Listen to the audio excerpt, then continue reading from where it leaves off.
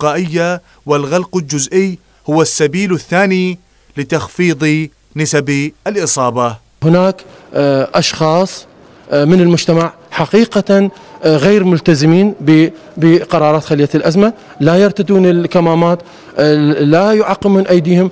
نحن دائما باستمرار نؤكد على الالتزام لبس الكمامات ضروري جدا. وخاصة في الأماكن المزدحمة والتباعد الجسدي ضروري جدا وأيضا غسل اليدين بالماء والصابون أو استخدام المعقمات.